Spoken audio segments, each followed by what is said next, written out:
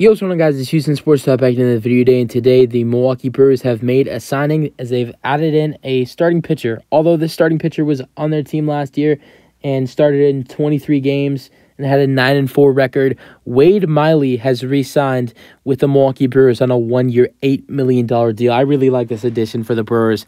Uh, it's looking like Corbin Burnes is on his way out in a trade, and they already lost one starter as well. So for the Brewers to bring back Wade Miley, who was you know, wasn't perfect last year, but was really solid for this team. Uh, was one of their, you know, was was really good as their fourth or fifth starter uh, for their rotation, and I think this is going to be, uh, you know, somebody they will really need next year if they're not able to find a good Corbin Burnes replacement.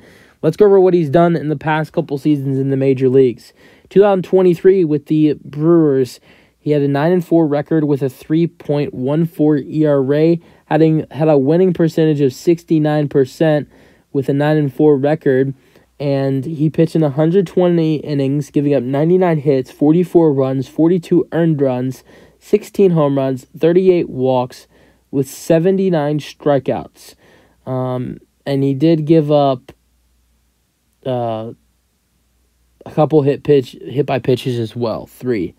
Um, and then 2022 with the uh, Chicago Cubs.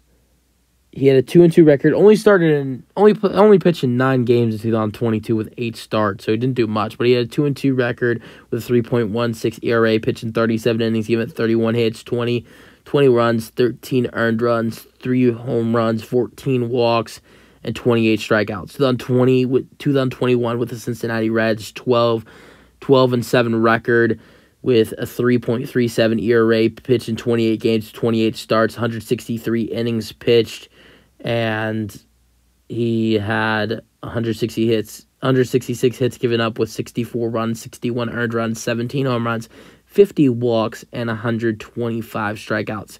Then I'm going to go over to 2019 with the Houston Astros, the last year I'll go over of his career.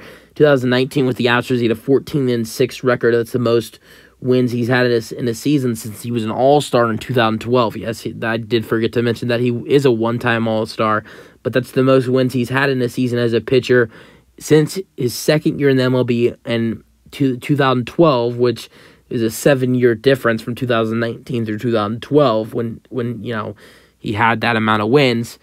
Uh, so 14 and six record. Also, um, had a 3.98 ERA, pitched in 38 games at 33 starts. Um, that is tied for the most amount of games he's pitched in a season. Uh, he did that twice in 2013 and 2014, pitched 33 games and 33 starts. He pitched in 167 innings with Houston, giving up 164 hits, 83 runs, 74 earned runs, with 23 home runs, 61 walks, and had a total of 140 strikeouts.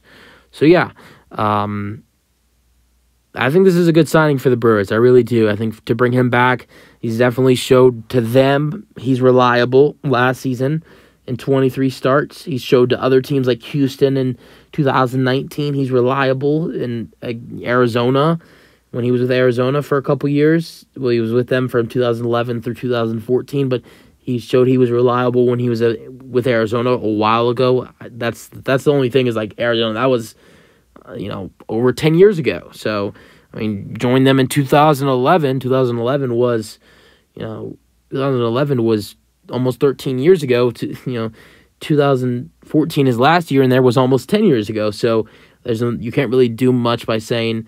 Uh, what he did in Arizona when that's almost a decade ago, and sometimes when he was with Arizona is over a decade old but he was reliable when he was with Arizona. Uh, he was good with when he was with Houston. He was solid when he was uh, with Cincinnati. Um, he wasn't didn't really do much when he was with the Chicago Cubs because he only pitched in nine games. But last year he was good with the Brewers, and I think that should be enough for them to re-sign him when they need starting pitching. So I like this addition for the Brewers. That's it for the video. Hope you guys enjoyed. Let me know your thoughts in the comment section, and peace out.